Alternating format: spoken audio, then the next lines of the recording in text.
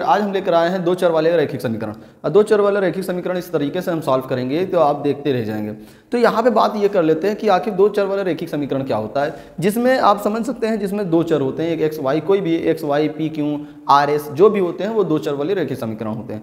तो यहाँ पर हम मान लेते हैं दो चर वाले में, जो है जैसे हम ले लेते हैं A X plus B Y plus C is equal to zero ये आपका जो होता है, दो चर वाला रेखिक समीकरण होता है। तो अब यहाँ पर हमें जो है इस चैप्टर में जो अध्ययन करना है, दो चर वाले रेखिक समीकरण का ही करना है और इसमें कम से कम दो रेखाएँ के बीच में हम लोग को हल करना है, इसकी जो है कैसे वैल्यू निकाली जाएगी, इस प्रकार से हमको देखना है। अब देखिए, ये A X plus B Y इसका जो है दो चर वाले का व्यापक समीकरण है। तो यहाँ पर हम देख लेते हैं, हमारा एक मेन है कि हमें इसमें तीन रेखा के बारे में आपको पढ़ना है। तीन रेखा के बारे में पढ़ना है तो पहला रेखा आपका क्या है, वो हम देख लेते हैं। एक रेखा होता है आपका जो है प्रतिच्छेदी रेखा। कैसी रेखा होती है? प्रतिच्छेदी रेखा होती है। और दूसरी रेखा आपको पढ़ना है समांतर रेखा। ठीक है? समांतर रेखा। और तीसरी रेखा आपकी क्या होती है? आपकी तीसरी रेखा होती है संपाती रेखा। कौन सी रेखा? संपाती रेखा।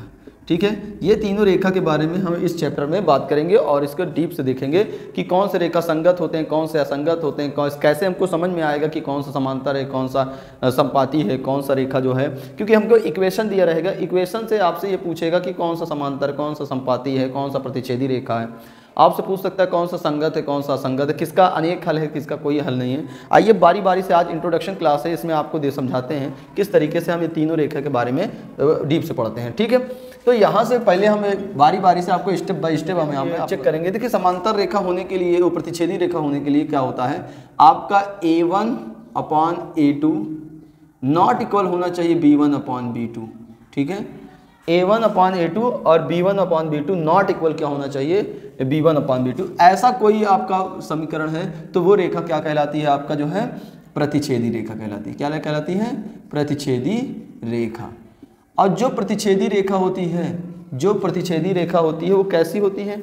वो रेखा आपको एक किसी, दो रेखा खींचते हैं। किसी बिंदु पर एक रेखा दूसरे रेखा को जिस बिंदु पर काटती है, उसे हम क्या कहते हैं? प्रतिच्छेदी। ये इस बिंदु पे काटी तो इसको हम क्या बोलेंगे? प्रतिच्छेदी रेखा। अब जो प्रतिच्छेदी रेखा होती है, वो संगत कहलाती है। क्या कहलाती है? संगत कहलाती है। ठीक है? और जो संगत होता है, उसका क्या होता है? एक अदिति हल होता है। क्या होता है? एक अदिति। किस वाले का है ये? आपका ये प्रतिच्छेदी रेखा। पहला फार्मूला मेन फार्मूला आपका पहला ये है। कि A one A two not equal B one B two होता है तो वो रेखा कैसे कहलाएगी? प्रतिच्छेदी रेखा। और ये इस तरीके से कटा रहेगा तो उसको हम कहेंगे संगत। और संगत रेखा को हम बोलते हैं एक अद्वितीय हल कहते हैं, ठीक है? तो इस तरीके से हमारा प्रतिच्छेदी रेखा का हमारी सारी पहचान हो गया। अब हमें देखना है क्या है समांतर रेखा। तो समांतर रेखा कंडीशन क्या है? A one upon A two is equal to B one upon B two is equal to C one upon C two यदि A one upon A two B one upon B two मिले और last वाला आपका ना match करे, वो equal ना होना चाहिए। ये दोनों आपस में इक्वल हो, लेकिन लास्ट वाले में इक्वल ना होना चाहिए। इक्वल का मतलब जैसे दो बटा तीन है, यहाँ भी दो बटा तीन हो, लेकिन लास्ट में पाँच बटा तीन हो। ये दोनों एक दूसरे में नहीं मिल रहे लेकिन ये दोनों मिल रहे हैं। तो ये आपस का बराबर है। तो ऐसा रेखा जब मिलता है आपको तो वो आपका क्या कहलाता है? समांतर रेखा। कैसा रेखा? ये आपका समांतर रेखा हो गया। तो ये समांतर हो गया। और समांतर रेखा जो होती है, वो आप लोग हमेशा पढ़ें कि इस तरीके से जो रेखा होती है, वो क्या कहलाती है? समांतर रेखा होती है। यानी रेखा के जस्ट समान अंतर में दूसरी रेखा खींच दिया जाता है, उसको समांतर रेखा कहते हैं। अच्छा एक बात समझ में आए, जब एक रेखा जिस रेखा, जिस बिंदु पर मिलती है या कटती है टच होती है, उसी बिंदु का उसका हल होता है। तो या ये रेखा इस वाली रेखा पे कहीं किसी बिंदु पे टच कर रही, नहीं कर रही तो इसका कोई हल नहीं होता। तो जिसका कोई हल नहीं होता, वो क्या कहलाता है? असंगत कहलाता है। पहली चीज़ ये असंगत है। क्या है? असंगत है। जो, देखिए यही समांतर ही रेखा असंगत होती है। ये बात आप अपने दिमाग में बसा लीजिए। और असंगत रेखा का कोई, इसका कोई हल नहीं होगा। कोई हल नहीं है। ठीक है? इसका कोई हल नहीं होता। इसका कोई हल नहीं होता। ये चीज़ आपको याद रखना है, समझना, ठीक है? एक एक तीसरी रेखा है, उसके बारे में भी करते हैं, जिससे संपाती रेखा रेखा के ऊपर ही रेखा जो हो जाती है तो उस प्रकार की जो रेखाएँ होती हैं, उसको हम संपाती रेखा कहते हैं। जैसे संपाती होने रेखा के कौन सी कंडीशन फॉलो करना होता है, वो आपका ये करना होता है A one A two is equal to B one B two is equal to C one और सी टू इस तरीके से जो रेखा होती हैं, यानी A one upon A two B one upon B two C one upon C two यानी सभी मैच करते हैं जैसे क्या लिख दें, एक बटा दो, एक बटा दो, एक बटा दो। ऐसे जो रेखाएँ होती हैं, वो आपकी कैसी रेखा कहते हैं? संपाति रेखा। तो संपाति रेखा की पहचान यही है, सभी मैच करना चाहिए तो ये संपाति रेखा होगी। और जो संपाति रेखा होती है, उसका क्या होता है? अनेक। संपाति रेखा कैसी होती है? जैसे ये रेखा है इसी रेखा के ऊपर दूसरा रेखा भी चढ़ जाए। तो इस प्रकार से जो रेखा, एक रेखा के ऊपर दूसरा रेखा जो चढ़ जाती है, उसे हम संपाति रेखा कहते हैं। और जो संपाति रेखा होता है, ये भी क्या होता है? संगत होता है। और जो संगत होता है, ये संगत है, लेकिन इसमें देखो, एक रेखा दूसरी रेखा के ऊपर बना, एक रेखा अनेक बिंदुओं से मिलकर बना होता है। तो दूसरा भी रेखा दूसरी, उसी बिंदु पर मिलकर जाती हुई जा रही है तो आप समझ ही सकते हैं कि उसका अनेक हल होगा, कि अनेक बिंदुओं से टच करता हुआ जाएगा। तो इसका हो, क्या होगा? अनेक हल होता है। ये चीज़ आपके माइंड में होना चाहिए। अनेक हल होगा। इसका अनेक हल होगा। तो अब हम, देखिए क्या है, इन तीनों पर आपको समझाने के लिए एक एक जो है एग्जांपल लेते हैं और आपको इसमें समझाते हैं कि कौन सा क्वेश्चन किस तरीके से आपको सॉल्व करना है, कैसे आपको पहचानना है। जैसे हम ले लेते हैं three X plus two Y is equal to या plus six is equal to zero five X plus three Y plus two is equal to zero ठीक है? तो अब हम इसे दिया रहेगा, बताएगा कि आप बताइए कि ये कौन सा रेखा है। और कभी कभी ये पूछ लेता है कभी कभी ये कह देता है बताइए कि ये जो रेखा होती है संगत है कि असंगत है? ये या पूछ लेता है, रेखा समांतर है कि प्रतिच्छेदी है? तो बहुविकल्पी टाइप में ही क्वेश्चन ऐसा पूछ लेता है तो आपको सिंपल क्या करना? ए वन देखो, ये वाला आपका जो होता है, ऊपर वाला ये सारे ए वन होते हैं, ये आपका बी वन होते हैं लास्ट वाला आपका सी वन होता है।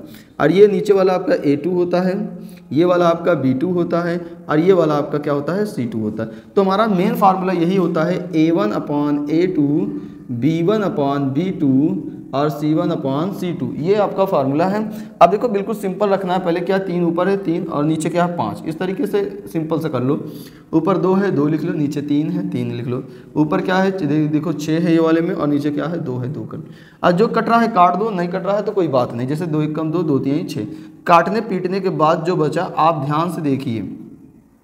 तो यहाँ पर ध्यान से देखिए, क्या ये दोनों, ये तीनों किसी मैच कर रहे हैं? नहीं मैच कर तो हमारा पहला ही कंडीशन है, पहला और दूसरा ना मिले, तीसरा मिले चाहे ना मिले, लेकिन पहला और दूसरा ना मिले तो वो रेखा कैसी कहलाती है?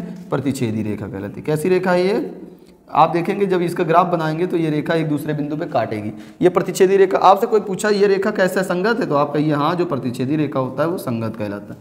तो इससे कोई पूछ लिया, इसका कितना हल है? तो आप कहेंगे, इसका जो है, एक अदिति हल होता है। एक अदिति हल होता है। ठीक है? एक ही अदिति हल होता है, यानी दो प्रकार के एक ही हल होगा जिसका दो मान होते हैं, ठीक है? तो इस प्रकार के जैसे एक्स की वैल्यू आ जाएगी, एक वाई की वैल्यू आ जाएगी। तो इस प्रकार के जो प्रतिच्छेदी रेखा हो गया संगत होता है ना? तो ऐसे हमको पता चलता है। फिर हम एक एग्ज़ाम्पल दूसरे वाले पे लेते हैं। इसको देख लेते हैं, किस तरीके से क्वेश्चन है। ऐसे कर लेते हैं, देखिए।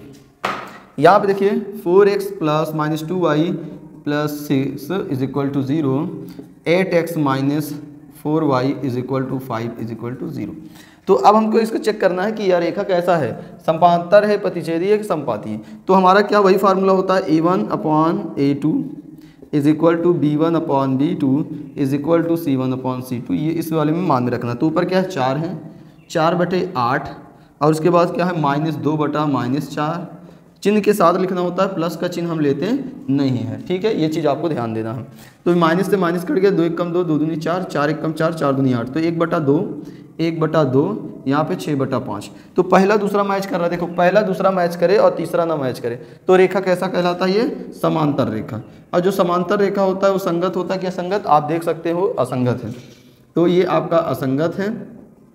और जो असंगत असंगत होता है, इसका कोई हल नहीं होता। क्या होता है? कोई हल नहीं। तो ये चीज़ आपको याद रखना है। इसका कोई हल नहीं होगा। तो एक हम तीसरे पे कर दें और हमारा जो है नेक्स्ट वीडियो जब आएगा तो हम प्रश्नावली आपको सॉल्व कराना स्टार्ट कर देंगे। तो आज जो है इंट्रोडक्शन क्लास है तो किसी भी चैप्टर का स्टार्ट करना ही सबसे बेस्ट होता है, उसका इंट्रोडक्शन लेना बहुत बेस्ट होता है। तो इंट्रोडक्शन आपको देखना बहुत ज़रूरी है तो क्योंकि आगे आपका जो है कई प्रश्नावली इसी से जो है रिलेटेड रहेंगे। ये बेसिक आपका ये मालूम है तो आप इसमें भारी से भारी क्वेश्चन आसानी से कर सकते हो। तो आप तीसरा हम देखेंगे, इसमें पहचानने का तरीका संपाति रेखा को कैसे पहचानेंगे। तो बिल्कुल देखिए two X plus three Y, यहाँ पे आपका हो जाएगा प्लस का six is equal to zero four X plus six Y twelve is equal to zero अब हमें देखना है कि ये रेखा संपाती है कि नहीं है तो आइए देखते हैं, ऐसे ही क्वेश्चन रहेगा, इस बोलेगा, बताइए कि ये कैसा रेखा है।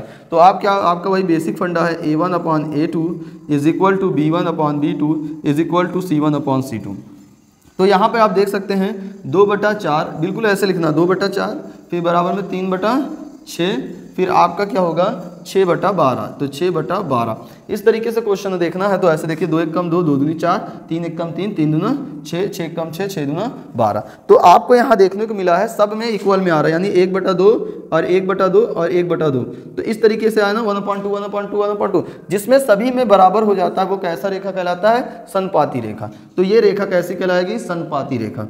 सनपाती रेखा। तो संपाति रेखा आपका हो गया। अब सर, जो संपाति रेखा होता है, उसका कितना हल होता है? संपाति रेखा का, वो पहले ये देखिए, संगत होता है, बिल्कुल होता है, क्योंकि इसमें हल होता है। संपाति रेखा संगत होता है। और जो ये संगत होता है तो संपाति रेखा का अनेक हल होता है। कितना हल होता है? अनेक हल होता है। तो ये चीज़ें आपको बहुत ज़रूरी जानकारी होनी चाहिए। जो बेसिक क्वेश्चन आपका जो है यहीं से उठेगा, जो बहुविकल्पी बहुत सारे यहीं से हो गए और छोटे छोटे बड़े बड़े क्वेश्चन ये आपको बेसिक ये तीन चीज़, इस चैप्टर का ये तीन चीज़ आपको बेसिक पता होना चाहिए कि संपाति रेखा, समांतर रेखा और प्रतिच्छेदी रेखा को कैसे पहचाने और कैसे जाने किसके संगत है, कौन असंगत है, किसका अनेक हल है। तो ये चीज़ आपको याद रहेगा तो बिल्कुल हंड्रेड हम बता सकते हैं। आप आसानी से इस क्वेश्चन इस चैप्टर का जो भी क्वेश्चन होगा, आसानी से चुटकी बजा के आप सॉल्व कर लेंगे। जैसा भी वीडियो लगा प्लीज़ लाइक कीजिएगा शेयर कीजिएगा सब्सक्राइब कीजिएगा। थैंक यू सो मच अपने दोस्तों से भी बताना मत भूलिएगा। Thank you so much